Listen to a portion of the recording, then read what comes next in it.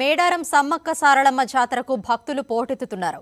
జాతర ప్రారంభానికి ముందే భక్తులు భారీగా తరలివచ్చి మొక్కులు చెల్లించుకుంటున్నారు.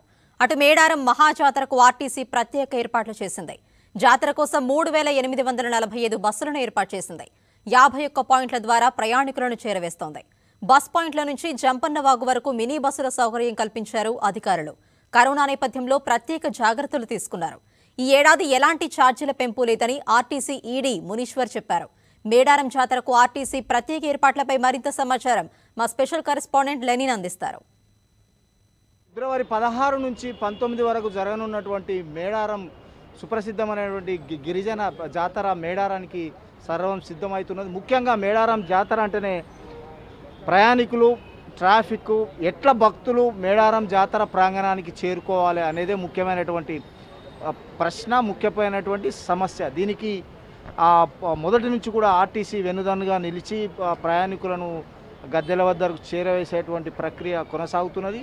ఏ విధంగా మొత్తం దేశవ్యాప్తంగా వచ్చేటువంటి లక్షలాది మంది భక్తుల కోసం ఆర్టీసీ ఎటువంటి ఏర్పాట్లు చేస్తున్నది ఎటువంటి ఎన్ని బ ఎన్ని బస్సులను పెడుతున్నది ఎన్ని పాయింట్ల నుంచి పెడుతున్నది పోవడానికి మళ్ళీ జాతర అయిపోగానే తీసుకురావడానికి ఎటువంటి కార్యక్రమాలు చేపడుతున్నది మనతో పాటు ఆర్టీసీ ఈడీ గారు ఉన్నారు.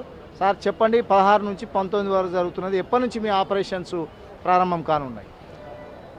టీఎస్ఆర్టీసీ తరఫున పదమూడవ తారీఖు నుంచి ఇరవయో తారీఖు వరకు మేము ఈ స్పెషల్ ఆపరేషన్స్ అనేటటువంటిది మేడారం మహాజాతరకు వెళ్ళేటటువంటి భక్తుల కోసం ఏర్పాటు చేస్తున్నాము.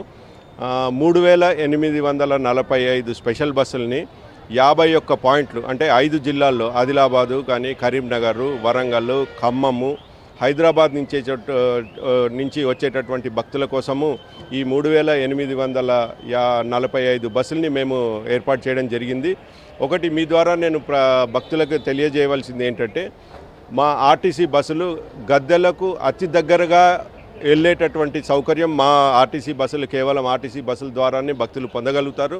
కేవలం ఒక కిలోమీటర్ దూరంలోనే మా ఆర్టీసీ బస్ స్టాండ్ ఉంది కాబట్టి మీరు మా బస్సుల్లో ప్రయాణం చేస్తే అతి తక్కువ సమయము మీ దర్శనానికి అవసరం అవుతుంది కాబట్టి అందరూ కూడా ఆర్టీసీ బస్సుల్లో ప్రయాణం చేసి సురక్షితంగా మీ యొక్క దర్శనాన్ని మీ మొక్కుల్ని చెల్లించుకోవాలని చెప్పి మేము కోరుకుంటున్నాం. ఎక్కడెక్కడి నుంచి మనం ముఖ్యంగా ఇటు హైదరాబాద్ అనుకోండి సార్ ఖమ్మము కరీంనగర్ మెయిన్గా ఉత్తర తెలంగాణ ఆ తర్వాత హైదరాబాద్ వివిధ ప్రాంతాల నుంచి వారు అక్కడ డంపు అటు నుంచి తీసుకొచ్చేటువంటి పరిస్థితి. ఎట్లా ప్లానింగ్ ఉంది? ఇప్పుడు లాంగెస్ట్ పాయింట్ అంటే మనకి ఆసిఫాబాద్ బెల్లంపల్లి మందమర్రి మంచిర్యాల శ్రీరాంపూర్ చెన్నూరు నుంచి వచ్చేటటువంటి భక్తులందరినీ కూడా ఆదిలాబాద్ రీజన్ నుంచి ఆపరేట్ చేయడం జరుగుతుంది. అట్లాగే గోదావరి కానీ పెద్దపల్లి మన హుజురాబాదు కరీంనగర్ నుంచి వచ్చేటటువంటి మంతని నుంచి వచ్చేటటువంటి వాళ్ళని కరీంనగర్ జిల్లా వాళ్ళు అట్లాగే ఖమ్మం నుంచి వచ్చేటటువంటి వాళ్ళు ఖమ్మం కానీ కొత్తగూడెం కానీ ఎల్లందు కానీ పేరూరు వాజేడు చెర్ల ఏటూరు నాగారం ఎల్లందు ఇవన్నింటినీ ప్రాంతాల నుంచి కరీంనగర్ రీజన్ వాళ్ళు.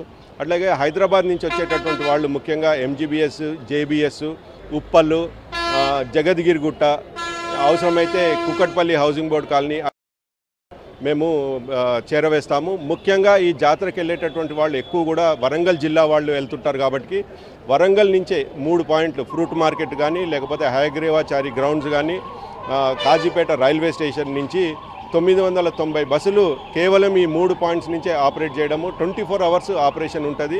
అట్లాగే నర్సంపేట తొర్రూరు వర్ధన్నపేట జనగామ ఇట్లాంటి పెద్ద పెద్ద పాయింట్స్ నుంచి కూడా మొత్తము ఒక ముప్పై పాయింట్స్లు ఈ వరంగల్ ఉమ్మడి వరంగల్ జిల్లాలో ముప్పై పాయింట్స్ నుంచి కూడా ఆపరేట్ చేయడం జరుగుతుంది. ప్రత్యేకంగా ఏమైనా ఆఫర్స్ సార్? ఒక ఒక వంద మంది కలిసి మేము పోవాలనుకుంటే వాళ్ళ కొరకు ఏమైనా ప్రత్యేకంగా ఏసీ బస్సులు కానీ ఇట్లా ఏమైనా ఏమైనా స్పెషల్ ఆఫర్స్ లెక్క స్పెషల్ అంటే ఫెసిలిటీస్ ఏమైనా కల్పించిల్లా కావాలనుకునే భక్తులకు?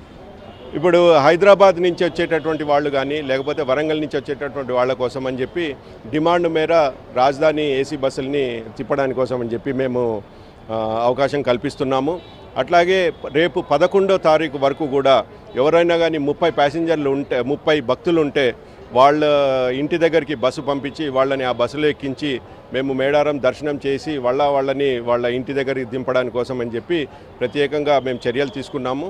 అట్లాగే గత సంవత్సరం గత రెండు వేల ఇరవైలో ఛార్జీ చేసినటువంటి ఛార్జీలనే ఈ సంవత్సరం కూడా కొనసాగించాలని చెప్పి ఇతర ఖర్చులు పెరిగినప్పటికీ డీజిల్ ధరలు అన్నీ కూడా పెరిగినటువంటి తరుణంలో కేవలము మన సామాజిక బాధ్యతగా అంటే ప్రజలకి ఒక మంచి రవాణా సౌకర్యం కలిగించాలని చెప్పి భక్తులకు ఆర్టీసీ గత సంవత్సరంలో మేము ఏదైతే రెండు వేల ఇరవైలో ఛార్జ్ చేసామో అవే ఛార్జీలని అందుబాటులో తీసుకొస్తాం.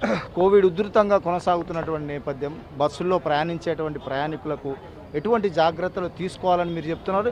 ఎట్లా రిస్ట్రిక్ట్ చేయబోతున్నారు బస్సులోకి ఎక్కేటువంటి ప్రయాణికులను? తర్వాత తీసుకొచ్చేటప్పుడు ఎట్లా జాగ్రత్త? ఇప్పుడు ప్రయాణికులు అందరూ కూడా ఖచ్చితంగా మన గవర్నమెంట్ ఇచ్చినటువంటి కోవిడ్ రెగ్యులేషన్స్ ప్రకారం అందరూ కూడా మాస్క్ ధరించాలనేటటువంటిది మేము కూడా వాటిని అమలు పరుస్తాము. అట్లాగే మా బస్సుల్ని డిపో నుంచి బయలుదేరేటప్పుడు శానిటైజ్ చేయడము అక్కడ పార్కింగ్ ప్లేసుల దగ్గర కూడా శానిటైజ్ చేసి ఎవరికి కూడా ఈ ఒమిక్రాన్ ముప్పు నుంచి తప్పించడానికి కోసం అని చెప్పి మేము ప్రయత్నం చేస్తున్నాము. ఇది ఇది ఇది పరిస్థితి. మొత్తంగా కూడా మూడు వేల పైన బస్సులను ఇక్కడ ఏర్పాటు చేస్తున్నారు. పదమూడో తారీఖు నుంచే దాని యొక్క ఆపరేషన్స్ ప్రారంభం చేస్తున్నామని చెప్పి కూడా ఆర్టీసీ ఈడీ చెప్తున్నారు. మొత్తంగా కూడా కరోనా నేపథ్యంలో ఖచ్చితంగా మాస్కులు ధరించాలి. లేని వాళ్ళకు కూడా లోపల అరేంజ్ చేసేటువంటి అది చేస్తున్నారు. కెమెరా పర్సన్ శ్రీనివాస్తో లెనిన్ టీవీ ఫైవ్.